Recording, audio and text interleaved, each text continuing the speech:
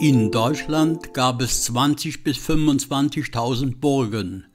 Sie waren Herrschaftssitz, wirtschaftlicher Mittelpunkt, Symbole der Macht und boten Bauern und Bewohnern der Orte Schutz bei feindlichen Übergriffen.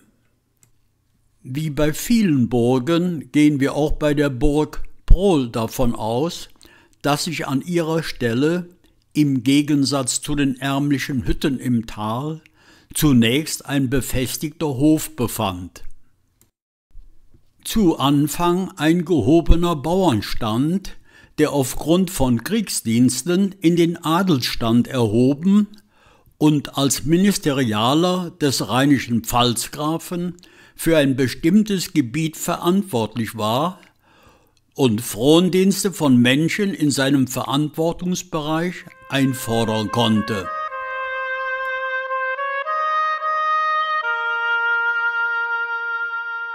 In der Zeit des Übergangs vom 11. in das 12. Jahrhundert bewohnte Pfalzgraf Heinrich II. von Lach mit seiner Gemahlin Adelheid von Ballenstedt eine mächtige Burg am See. Im Jahre 1093 gründete der Pfalzgraf mit seiner Gemahlin am gegenüberliegenden Seeufer das Kloster Lach. Zwei Jahre nach der Grundsteinlegung stirbt der Pfalzgraf. Sein Stiefsohn Siegfried von Ballenstedt beurkundet die Stiftung im Jahre 1112 und zwar in einer Stiftungsurkunde, die wiederum von adeligen Zeugen bestätigt wurde. So auch Volkoldus de Brule mit Sohn Vanerus.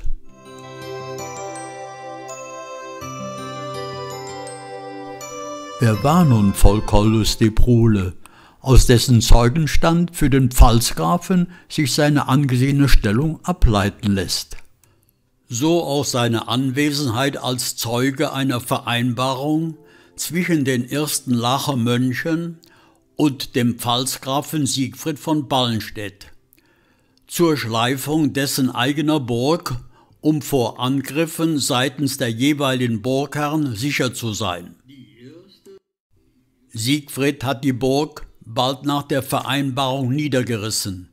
Für ihn allerdings kein großer Verlust, da er mit der unweit vom Lacher See über dem Pfingstbach am Rhein gelegenen Burg Rheineck eine weitere wichtige Burg besaß.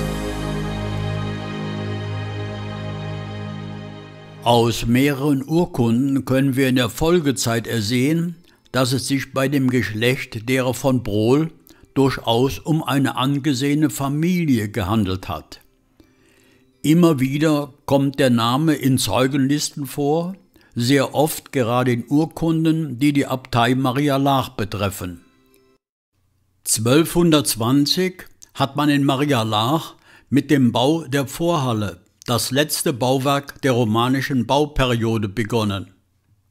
Ein Ritter Johannes de Brule war im Jahre 1264 als Beisitzer zugegen als Dietrich Herr von Sonnenberg und Ritter Otto von Dreis als Schiedsrichter den Streit zwischen Thomas und Otto von Els und dem Stift zu Karden beilegten.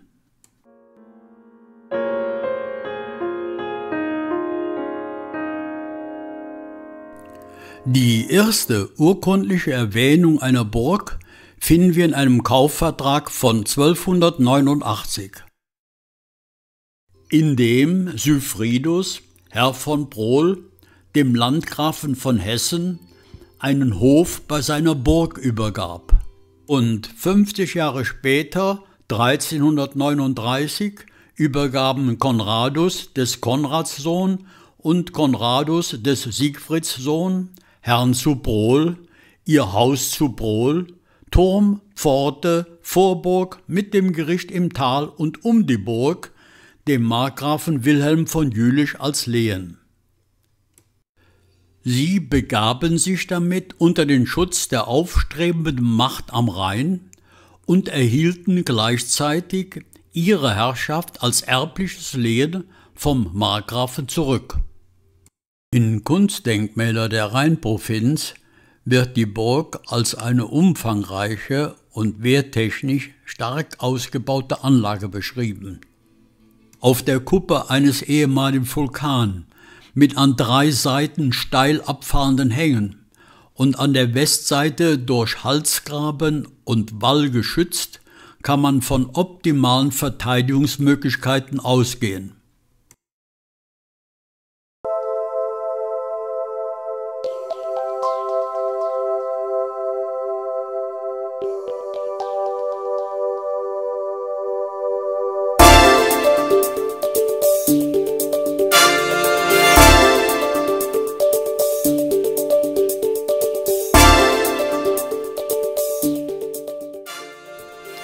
Radikaler Kahlschlag in der zweiten Hälfte des vorigen Jahrhunderts bietet die Möglichkeit, den 1940 in Kulturdenkmäler der Rheinprovinz beschriebenen Burgweg mit Tor und Wehrturm zu rekonstruieren.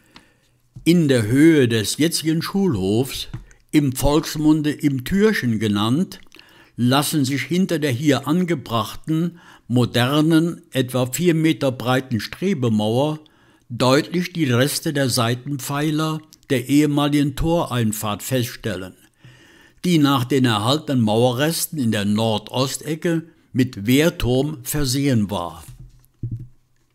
Im scharfen Knick zunächst nach Osten führte dann der Burgweg auf die Nordwestecke der ehemaligen Ringmauer zu, um im Gelände der ehemaligen Vorburg zum Haupttor für das Burginnere zu gelangen. Die Vorburg, bei der Brandschatzung durch die Franzosen weniger zerstört, prägt noch heute große Teile der West- und Nordseite. Bis um 1900 waren noch Reste von in Basaltstein gefassten Schießscharten oder deren Erweiterung zu Fenstern zu sehen.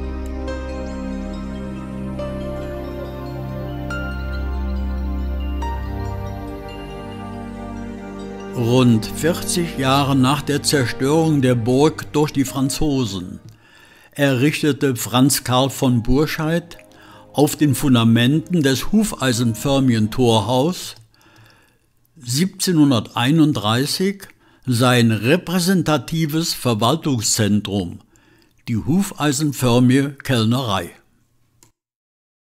Drei Tore hatte der Besucher passiert, als er durch das Torhaus in den höher gelegenen Burg- und Wohnbereich kam. Vorbei an Backhaus, Gesindehaus, Kältehaus und Zisterne erreicht er im Nordostbereich der Burg den Wohnbau, auch Palas genannt, mit einem auf der äußersten Nordostecke vorgelagerten runden Turm. Franz Karl von Burscheid hat 1710 beim Bau des Schlosses den wohl noch teilweise erhaltenen Turm in die Nordostecke des Schlosses übernommen, was dem Schloss eine heute sichtbar abgerundete Nordostecke bescherte.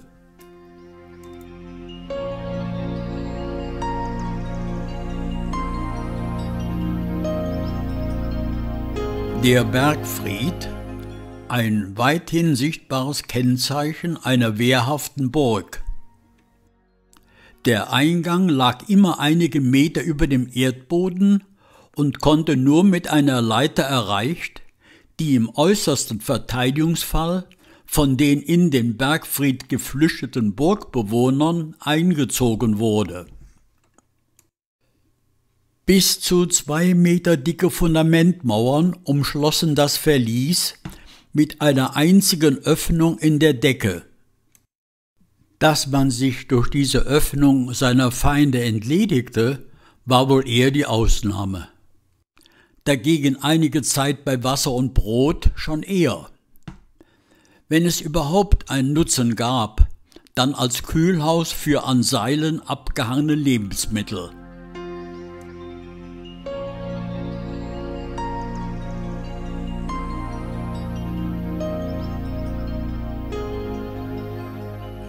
Die hier angekreuzte Nordostecke dürfte den Unterbau des Bergfrieds darstellen. Hier oben auf der Ebene des Schlosses lassen sich unter dem Rasen noch Reste von Mauerzügen feststellen. Nach der örtlichen Überlieferung war die Ecke unterkellert und hieß im Volksmund das Verlies. Dank ihrer im Brohltal einmaligen strategischen Lage beherrschten die Burgherren, inzwischen sich Ritter nennend, die lebenswichtigen und einzigen Verbindungs- und Handelswege des oberen Brohltals und des Kleestals zum Rhein. 1268 kommt es unter den Brüdern von Els zur Stammesteilung und um 1300 beginnt Theoderisch mit dem Bau eines Wohnturms, das sogenannte Rodendorfer Haus. In der Hochsaison kann Theoderich auf seiner Baustelle etwa 75 bis 90 Arbeitskräfte beschäftigen. Während das Rodendorfer Haus Gestalt annimmt, ist die Stimmung allerdings gereizt. Der Winter naht, die Zeit drängt und der Brüderstreit schwelt weiter. Nein, das machst du nicht. Das werden wir ja noch sehen. Bei Unfällen gibt es zu dieser Zeit für die Arbeiter keinerlei finanzielle Absicherung. Der Bauherr besorgt sich Ersatz und die Arbeiten gehen weiter ihren Gang. Wir brauchen schnell einen neuen.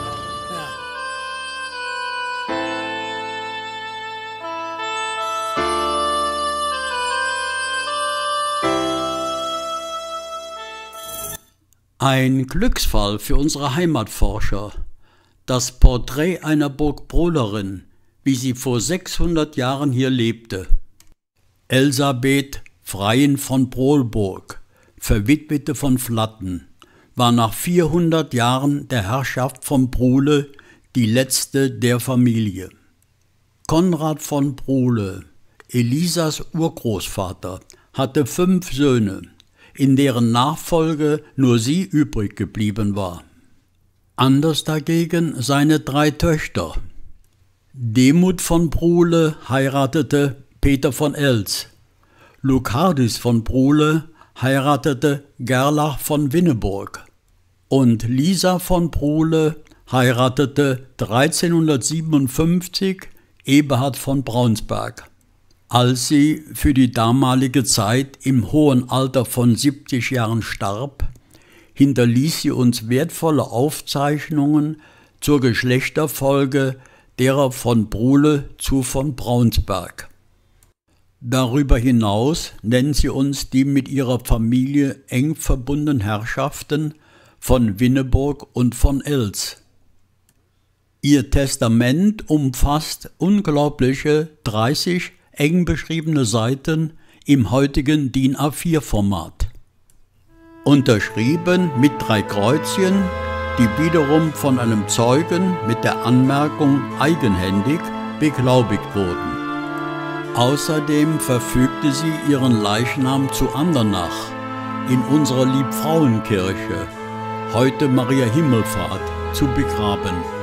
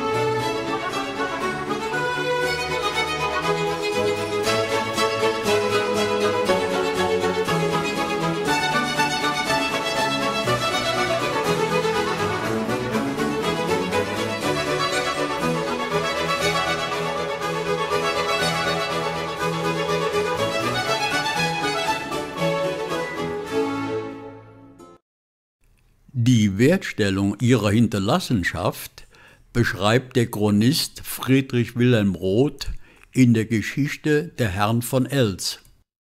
Im Jahre 1476 fiel dem Stamm vom Goldenen Löwen eine bedeutende Erbschaft zu. Ein freudiges Ereignis, das im gleichen Maße die Stämme von Winneburg und von Braunsberg beglückte. Am Dienstag nach Allerheiligen 1486 trafen sich die sechs Erben, nunmehr jeder Einzelne sich Herr zu Burg-Brohl nennend, um einen Erbteilungsvertrag auszuhandeln und schriftlich zu fixieren. Dietrich von Braunsberg, bei der Ausfertigung des Erbteilungsvertrags noch minderjährig, unterschrieb am 13.07.1491 als Volljähriger in Koblenz den Teilungsvertrag. 1495 erhielt er die Belehnung mit Burg Bröll. Zwei Jahre später, 1497, heiratete Dietrich von Braunsberg die blutjunge Barbara von Sickingen.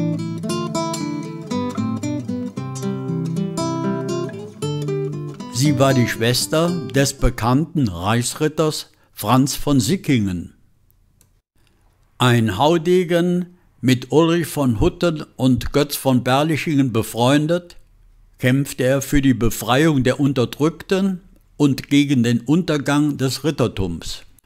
Seine ganze Verachtung traf die hessische Ritterschaft 1520 mit diesem Schmähbrief. Dietrich von Braunsberg kam also über seine Gemahlin nach Merxheim an der Nahe und ließ sich hier mitten im Dorf einen Wohnturm errichten.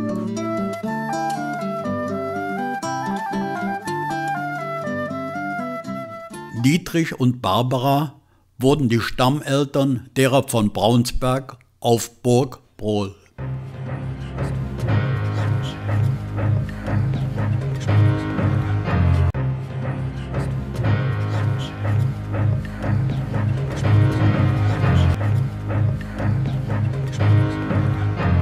Muss widerrufen oder er wird brennen. Es sei denn, er fände mächtige Fürsprecher. Die hat er. Vor allem Friedrich der Weise, Kurfürst von Sachsen, unterstützt ihn. Und auch andere Fürsten wollen mit Hilfe des Reformators die Zentralmacht, den Kaiser, schwächen. Doch erstmal muss er vor Karl V. treten. Ein Duell David gegen Goliath. Man muss kein Französisch verstehen, um zu wissen, dass er Luther an den Kragen will.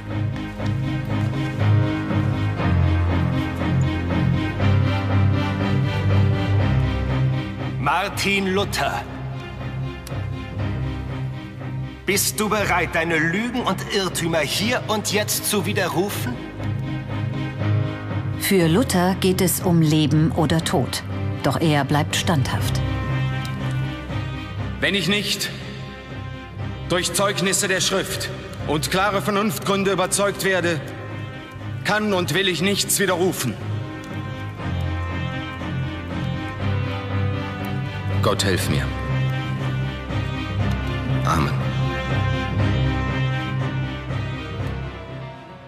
Dietrich, ein junger, finanzstarker Mann, erhielt 1497 in einem Vergleich mit dem Trierer Erzbischof gegen eine Forderung von 5950 rheinischen Gulden das Schloss Kempenich als Pfand und somit einen Wohnsitz in der Nähe von Burgbrohl. Dietrich, nun Amtmann des Trierer Erzbischof, ausgestattet mit vier gut gewappeten Pferden, verfügt neben seinen Männern zur Sicherung wichtiger Gebiete über weitere ihm unterstehende Burgmänner der Nürburg. Wie seine Großeltern und Eltern finden wir Dietrich von Braunsberg mit seiner Gemahlin Barbara von Sickingen im Andernacher Schützenbuch.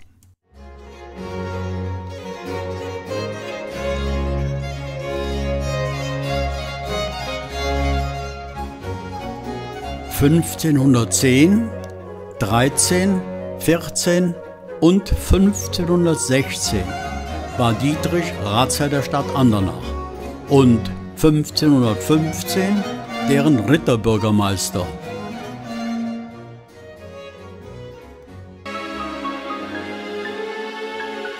Die Familie von Braunsberg war mit der Prämonstratenserabtei in Rommersdorf sehr verbunden. Als Dietrich von Braunsberg starb, fand er im Schatten der Abtei seine letzte Ruhestätte.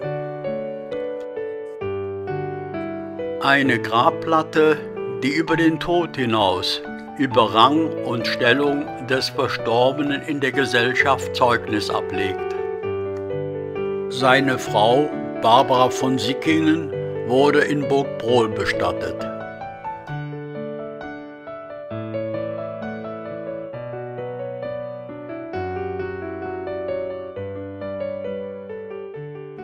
Mittelalterliche Gesellschaft ist streng hierarchisch aufgebaut. Ganz unten stehen die Bauern.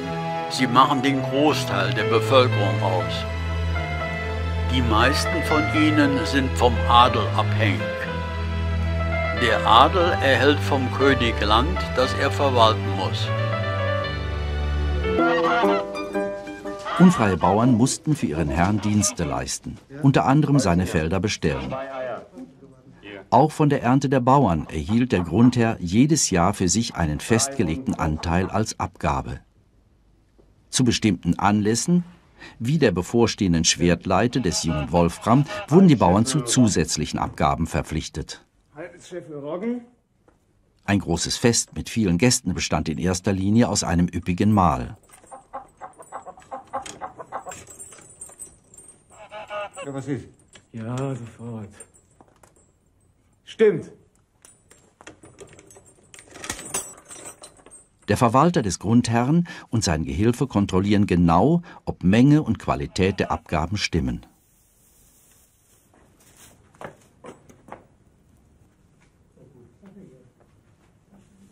Bachegger.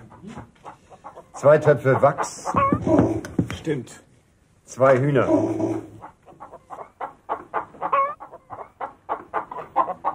Das sollen Hühner sein. Da wiegt ja ein Küken mehr. Sag mal her. Ja, so nicht, Bachegger. Das ist wohl ein Witz. Morgen sind zwei neue Hühner hier. Ich hab doch nur solche. Womit soll ich die denn füttern? Ich hab doch selbst nichts mehr. Na gut, dann zwei weitere von diesen. So, Bachegger, alles klar. Morgen zwei weitere Hühner. Nur immer feiern und fressen. Was war das eben? Bachegger!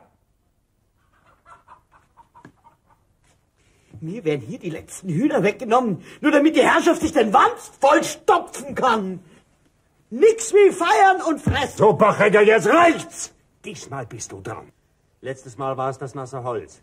Jetzt diese Flattergräten und dann noch unverschämte Bemerkungen. Das hat ein Nachspiel. Ist doch wahr, was ich sag. Lass gut. Ach, lass mich. Bachegger, wir sprechen uns noch. Ja.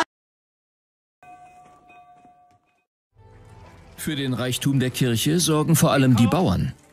Die Zehntabgabe ist die Kirchensteuer seit alters her und füllt zuverlässig ihre Kassen. Doch nun sollen auch noch Steuern auf Tiere erhoben werden. Und die Ziege auch. Wie soll das gehen? Sollen wir alle verhungern? Itaque qui resistet potestati Dei, ordinationi resistet. So spricht der Herr. Wenn ihr euch widersetzt, widersetzt ihr euch Gott. Wer Vieh besitzt, muss auch dafür bezahlen. Unser Herr Jesus Christus hat das Volk gespeist und es nicht hungern lassen. Sollen wir jetzt wohl auch noch die Sakramente bezahlen? Was wisst ihr denn schon?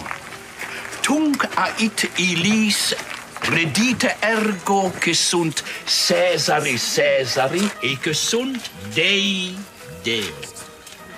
So steht es geschrieben.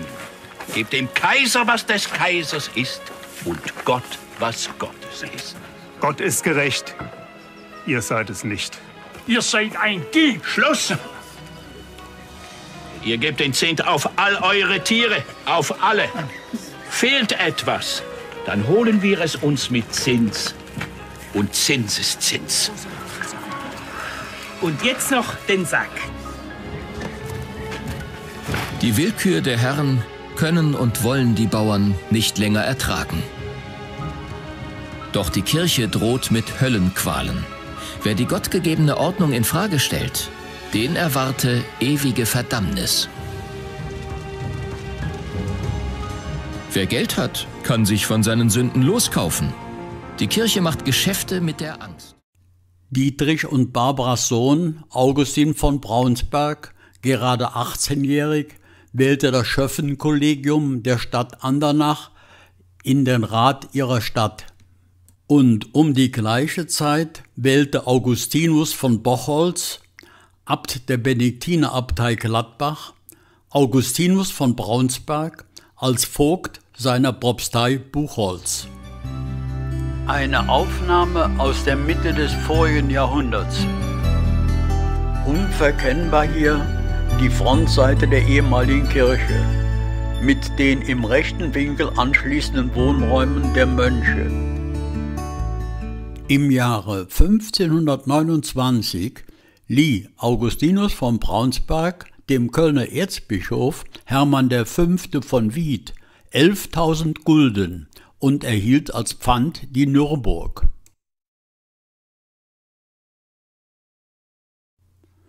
An der Burg, von seinem Vorgänger vernachlässigt, ließ Augustin von Braunsberg von ihm vorfinanzierte umfangreiche Baumaßnahmen durchführen, die ihre weitere Existenz sicherten und bis heute in der einschlägigen Fachliteratur anerkannt wird.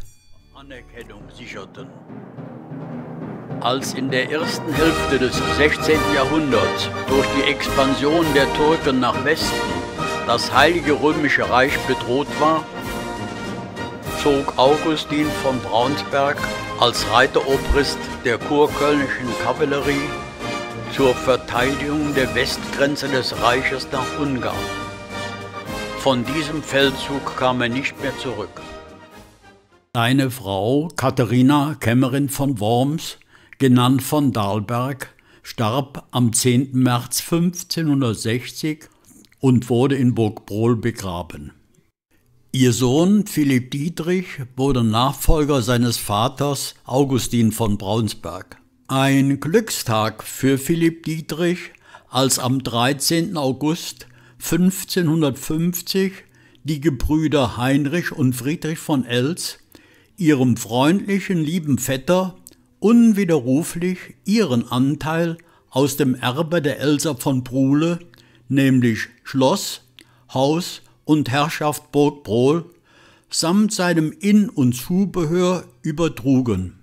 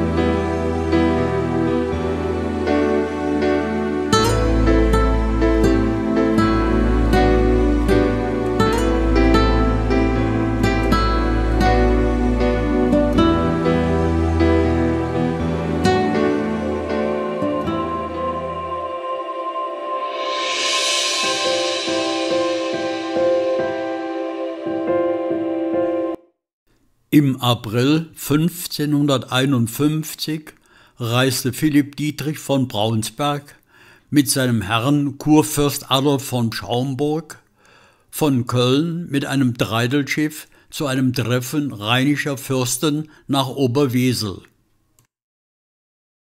Nach einem ungeplanten Zwischenstopp bei Königswinter erreicht man am späten Nachmittag Remagen zum dritten Wechsel der Treidelpferde um dann nach 15-stündiger Reise am späten Abend in Andernach anzukommen.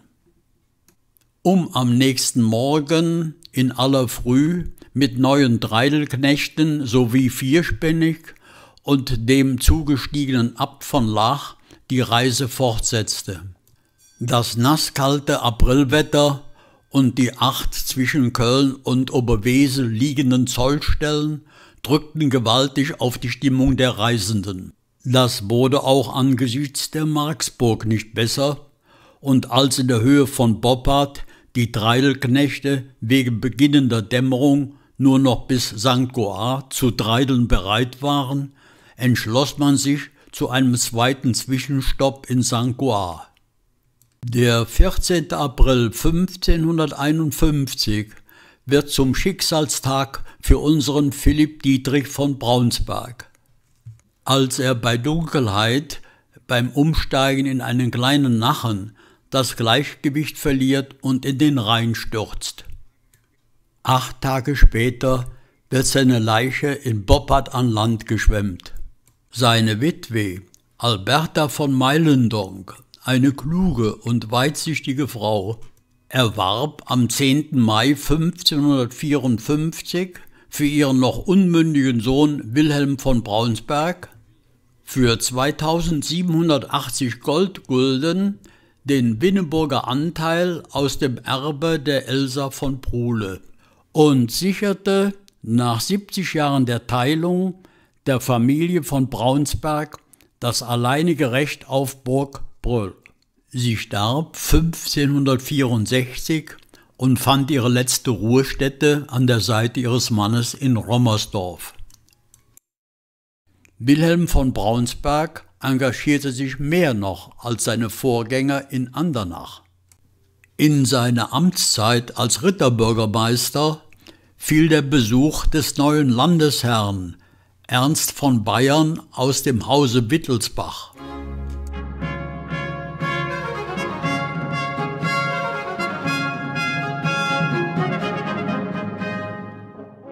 Nach alter Tradition wurde der jeweilige Landesherr an der Köln-Porz empfangen und in anschließender Prozession über die Hochstraße zum Schloss geleitet.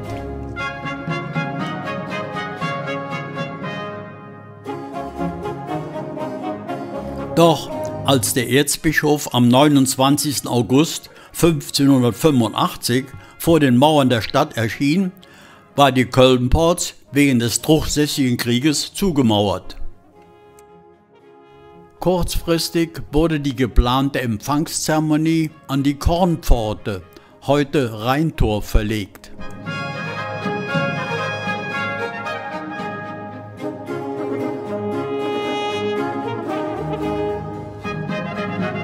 Dort empfing der Ritterbürgermeister Wilhelm von Braunsberg, Herr zu Burgbrohl, Merxheim und Alken den Erzbischof und leistete den Treueeid, indem er die rechte Hand auf die Brust legte.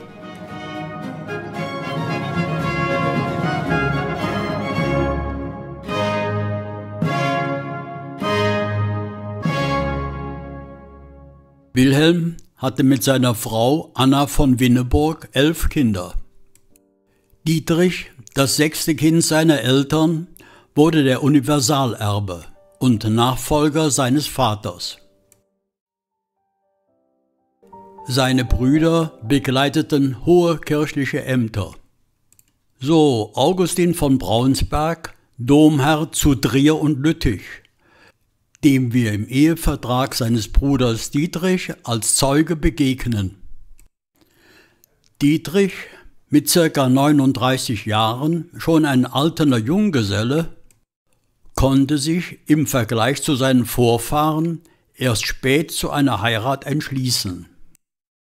Umso größer die Überraschung, als er 1612 die 17-jährige Anna Maria von Orsbeck, Tochter des Engelbrecht von Orsbeck, zu Olbrück, Efferen und Mühlen Adenau zum Traualtar führte. Eine glückliche Fügung bescherte uns die über 400 Jahre alte Heiratsberedung zwischen Dietrichen von Braunsberg und Marien von Orsbeck. Ein zwischen beiden Stämmen ausgehandelter und mit deren Unterschriften besiegelter Ehevertrag. Ein Pergamentdokument in der ungewöhnlichen Größe von 60 x 80 cm. In 130 Zeilen eng beschrieben, in deren Folge die Zeugen gezwungen waren, ihre Unterschriften auf dem Falls der Siegelhalterung zu leisten.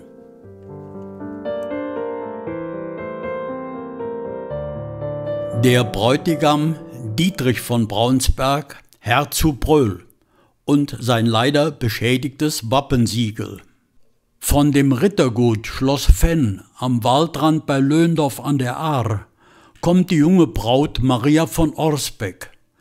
Große Freude, dass gerade ihr Wappensiegel so gut erhalten blieb.